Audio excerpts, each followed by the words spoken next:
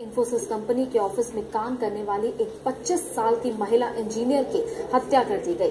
केरल की रहने वाली के रासिला राजू नाम की महिला का शव इंफोसिस बिल्डिंग की नौवीं मंजिल पर कॉन्फ्रेंस रूम में मिला। माना जा रहा है कि कंप्यूटर के तार से रासिला का गया था। वहीं इस कत्ल के शक में असम के रहने वाले एक सिक्योरिटी गार्ड को मुंबई से गिरफ़्तार किया गया है, जो कि घटना के बाद से फरार हो गया था। पुलिस के मुताबिक ये घटना शाम पाँच बजे के करीब हुई, लेकिन उन्हें घटना की जानकारी करीब आठ बजे मिली, जिसके बाद मृत महिला कर्मचारी के परिजनों को इसकी सूचना दी गई। आपको बता दें कि एक महीना में पुणे में हुई महिला सॉफ्टवेयर इंजीनियर की हत्या की यह दूसरी वारदात है। इससे पहले दिसंबर महीने में कोलकाता के रहने वाली एक महिला सॉफ्टवेयर इंजीनियर की उसके ऑफ़िस के सिर्फ़ 500 मीटर की दूरी पर चाकू मारकर हत्या कर दी गई थी। अब तक के लिए इतना ही। देश दुनिया